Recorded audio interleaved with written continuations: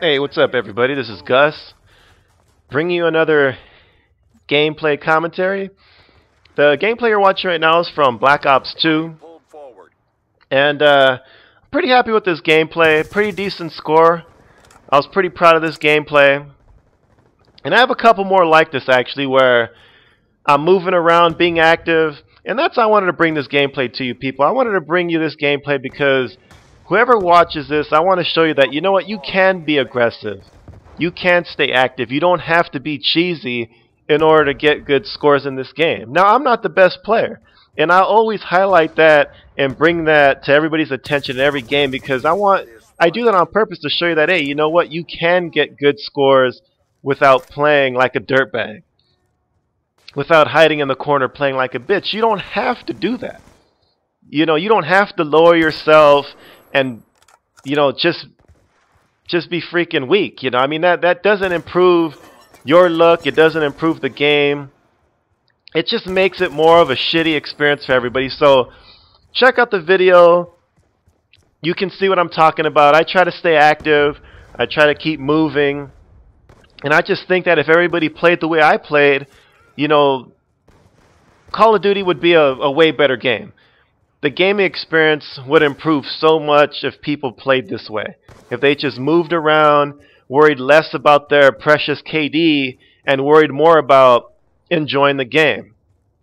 Having a good time, you know, not worrying about, oh shit, I need to get this, you know, 15 kill, you know, kill streak or whatever to impress my friends because at the end of the day, no one really gives a shit.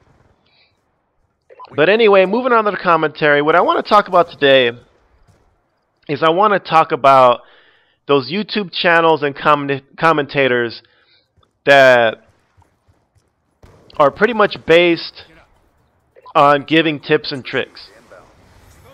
Now, the way I feel about those tips and tricks, you know, commentators, well, not the commentators, more more the videos, is I think that as far as you know them improving your game and making you a better player, I just think that a lot of those videos are 100% bullshit. They're, they're not going to help you. You know, now, a little a little disclaimer. I'm not trying to give anyone shit and, you know, tear somebody down. That's not what I'm doing here. You know, for all you people out there that are doing these tips and tricks, you know what? You're making a shitload of money or you enjoy doing it. You know what? More power to you. Keep doing what makes you happy. You know, that that's great. A lot of people might not like what I'm doing, and that's cool because I'm happy doing what I'm doing, making these types of videos, so I'm going to keep doing them. So, same thing goes for you. If you're happy doing tips and tricks and you're making boatloads of money, hey, you know what?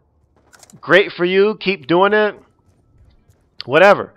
But just, in my opinion, I just think these videos are 100% bullshit, and they're not going to help anyone improve their game.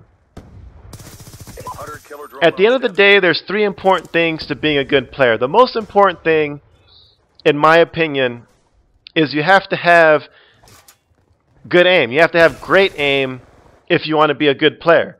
Hand-eye coordination, important thing. You know, being specific with Call of Duty, you know, the faster you pinpoint your target, the faster you can get your sights on the target and get bullets in them, the faster you're going to get that kill. So that that is key. If you're able to line someone up faster than your opponent, you're going to win those gun battles most of the time. That goes to important factor number two, which is of course the lag and your internet connection. Your internet connection needs to be at least at the level of your competition or else you're going to get your ass kicked most of the time. So that's the important thing number two. Good internet connection is a must if you want to be a good player. You know, and that'll that'll often pretty much be the main factor in people losing gunfights is their shitty connection. And number three, your gameplay style. That's the only thing that you can actually change, you know, within yourself to be a better player. No amount of shitty, cheesy ass videos and tips and tricks is going to make you a better is going to make you a better player. If you want to be a better player, just go out there and watch some of these uh, better commentators, you know, Sandy Ravage, whoever. Watch how they play and see if you can emulate that. If you have that kind of aim, that kind of hand-eye coordination, you're going to be in business. But if you don't, you're pretty much going to be stuck where you're at. You know, I've been playing Call of Duty since Call of Duty 4, and my KD has pretty much been consistent since then. You know, I took my fair share of beating, so my KD is the lowest in Call of Duty 4, but it's pretty much leveled out within the last four or five Call of Duties. And pretty much based on my playing style, it's going to pretty much be steady. Now, if I want to change that, you know, change how I play, camp more, do that kind of shit, yeah, you know what? I could raise my KD, but is it going to make me a better player? I don't think so. I don't think having a high KD necessarily makes you a better player. It might make you, I don't know if you want to call it a smarter player. You know, I call it playing more like a bitch, but whatever, whatever you call it is fine. But again, I don't think it's going to make you a better player to watch these videos and see some guy say, oh, you know what, you can use this cheesy weapon. Because, again, that's not making you a better player to use the cheapest shit. It's just making you a cheap player. But as far as overall talent and skill, if you've been playing Call of Duty for six months, that's pretty much as good as you're going to get. You know, you can change up your strategies. Again, use cover more, aim down the sights, you know, do stuff like that. But as far as overall skill level, you are what you are. And it's best that you just accept it. You know, now if you're one of these older people that go to these tips and tricks website, you know what? I've got to make a separate video for you guys because that's pretty pathetic. Now, some of the young guys who want to get better at the game, you know what? I'm not going to talk shit about little kids. More power to you if it helps. You know, if it makes you feel better to try this stuff out, go on and continue what you're doing. But I just, I just think at the end of the day, you're not really going to get any better, and you are who you are. You know, you've, you've pretty much at this point, you know how good of a player you're going to be. If you need to change up your style, maybe maybe you're you know, being silly. But this is all stuff that you can find out on your own. If there's certain spots in the map where you're getting killed, you know what? Maybe you should avoid those those spots. You know, they're pretty much a lot of these tips and tricks videos. It's just common sense bullshit.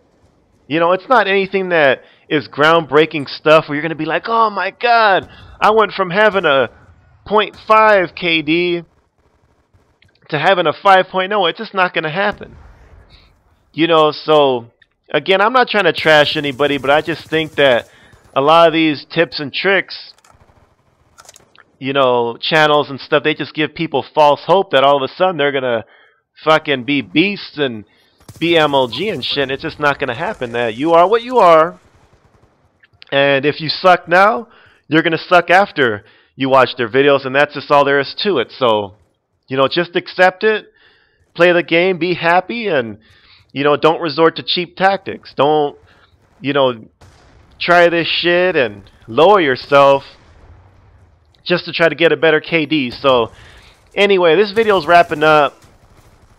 You know, uh, again, I'm not trying to bash anybody. I just think that tips and tricks, they're just bullshit and they're not going to get you anywhere. So, Anyway, hope you enjoyed the video. I'll be back with more soon, and I'm out.